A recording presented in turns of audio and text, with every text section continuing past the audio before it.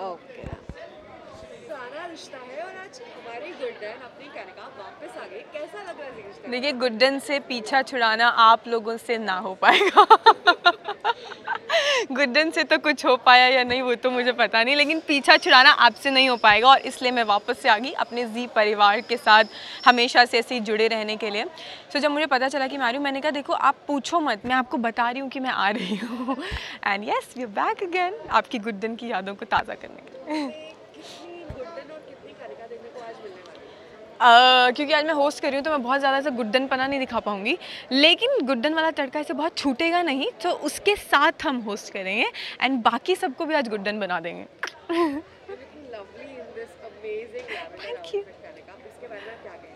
देखो आउटफिट के बारे में जब मुझसे सवाल होता है ना, मैं सच में कंफ्यूज हो जाती हूँ। अब मैं अपनी तारीफ़ कैसे करूँ कि देखो, मैंने बहुत सोच विचार के सोचा कि मुझ पे ये कलर अच्छा लगेगा और फाइनली लग भी रहा है, इसलिए मैं पहन के आ गई एंड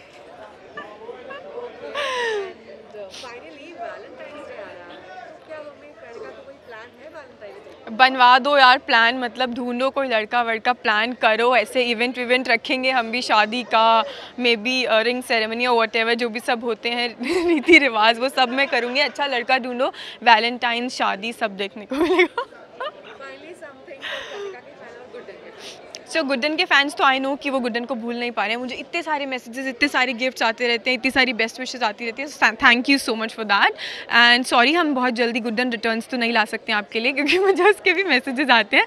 अभी थोड़ा सा और काम कर लेते हैं इधर उधर। And yeah you will be soon watching me on your screens क्योंकि मैंने इस पूरे साल काम किया किया किया है। अब वो रिलीज़ होने का टाइम आ गया है। So yeah and please wish me luck for that and pray the best for me and happy new year